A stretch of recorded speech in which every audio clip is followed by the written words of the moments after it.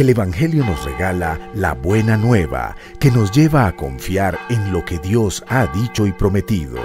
Nos indica que en Jesucristo somos salvos y tenemos la vida eterna.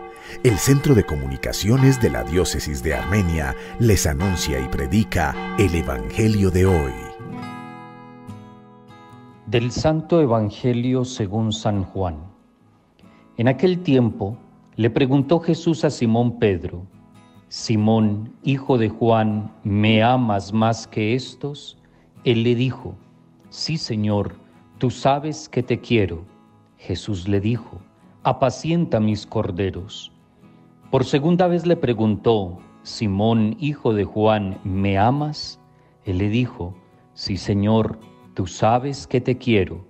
Jesús le contestó, Pastorea mis ovejas.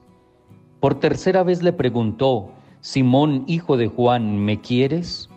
Pedro se entristeció de que Jesús le hubiera preguntado por tercera vez si lo quería, y le contestó, Señor, tú lo sabes todo, tú sabes bien que te quiero. Jesús le dijo, apacienta mis ovejas. Yo te aseguro, cuando eras joven, tú mismo te ceñías la ropa e ibas a donde querías, pero cuando seas viejo, Extenderás los brazos y otro te ceñirá y te llevará a donde no quieras. Esto se lo dijo para indicarle con qué género de muerte habría de glorificar a Dios. Después le dijo, sígueme. Palabra del Señor. Gloria a ti, Señor Jesús.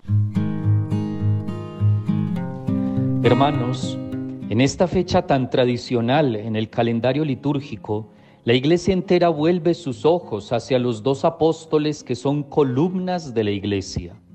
Celebrar a San Pedro y a San Pablo es reconocer que nuestra fe está fundamentada en ellos. También en este día solemne, la Iglesia Católica vuelve sus ojos y su corazón hacia el nuevo Pedro, su sucesor, el Papa Francisco, que continúa el ministerio apostólico de confirmar en la fe a los hermanos. Sorprende un tanto la lectura de los hechos de los apóstoles que hoy se escucha, en la que aparece un Pedro débil, atado, encarcelado y perseguido por predicar el Evangelio, que de repente se ve libre de las cadenas para proseguir su misión apostólica. Celebramos al Pedro de la fe intrépida, que confiesa que Jesús de Nazaret es el Hijo de Dios, el Mesías.